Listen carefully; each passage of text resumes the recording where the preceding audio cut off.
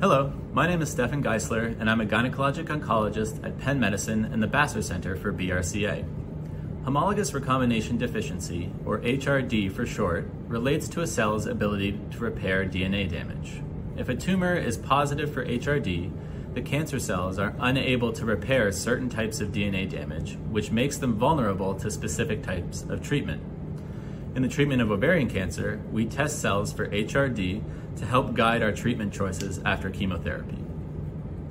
The BRCA1 and BRCA2 genes are involved in homologous recombination DNA repair, and so mutations in either gene, by definition, lead to HRD.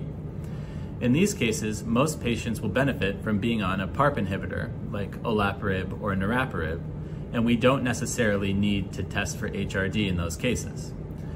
For patients who do not have one of these known mutations in BRCA, HRD testing can be useful to help identify patients that may see a benefit from a PARP inhibitor.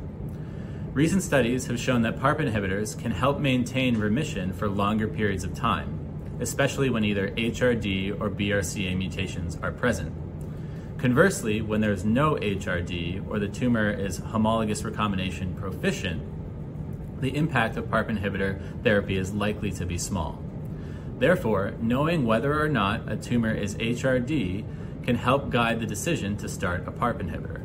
Since, like all medications, PARP inhibitors can have significant side effects, the decision to start PARP inhibitor therapy should be made after discussion of the potential risks and benefits. In total, as many as 30% of ovarian cancers will have HRD, while another 10 to 15% will have BRCA mutations. Altogether, making PARP inhibitors an excellent option for a large number of patients with ovarian cancer.